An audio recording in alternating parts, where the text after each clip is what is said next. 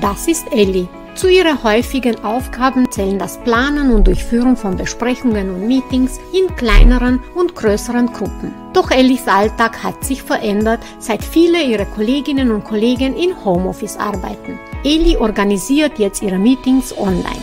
Zum Glück stehen mittlerweile eine Reihe von Videokonferenztools zur Verfügung, die Ellie das Planen und Durchführen von Online-Meetings erleichtern. Die beiden bekanntesten heißen Microsoft Teams und Zoom. In dieser Lerneinheit zeigt Ellie Schritt für Schritt, wie ein Online-Meeting geplant und durchgeführt wird.